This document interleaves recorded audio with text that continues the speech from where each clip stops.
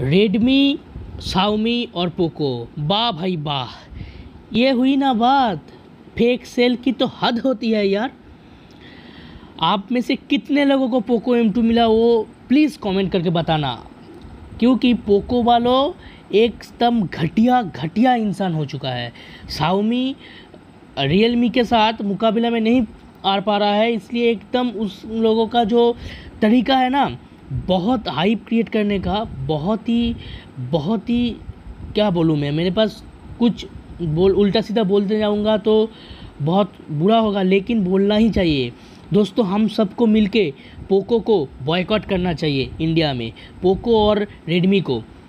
आज हमारे साथ क्या हुआ, आप सभी को पता ही होगा, क्योंकि आप सारे, बहुत सारे लोगों ने आज पोको एम टू ख़रीदने की कोशिश किए थे।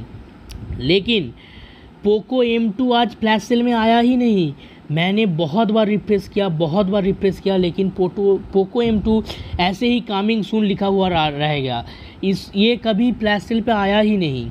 मेरे एक दोस्त को उसके पास फ्लैश सेल में आया था कुछ लोगों के पास, वो ऑर्डर भी कर लिया था, लेकिन उनका ऑर्डर तुरंत कैंसिल हो गया। क्यों भाई? हमने ऑर्डर प्लेस कर दिया तो कैंसिल क्यों हो गया? अगर हमारे यहाँ डिलीवर नहीं होगा तो पहले से दिखा देने का। और क्यों नहीं डिलीवर होगा भाई? हमने आज ही एक और फ्लिपकार्ट से प्रोडक्ट मंगाया था। उनका और वो तो सब आ रहे हैं, लेकिन आपका पोको क्यों नहीं आएगा?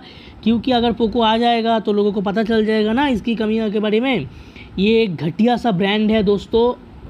हम सबको मिल के आप आप आप सबको और हमको मिल के ये पोको और रेडमी को इंडिया में बैन कर देना चाहिए।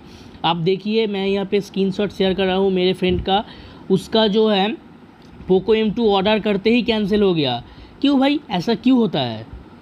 आप पहले भी स्क्रीनशॉट देख देख चुके हैं, मैंने शेयर किया है, और आज भी देखिए। आज 14 जुलाई को 12 बजे से पोको का सेल था, लेकिन नहीं आया। अगर आप में से किसी को मिला होगा तो प्लीज़ कमेंट कीजिए। Boycott China boycott Poco boycott Xiaomi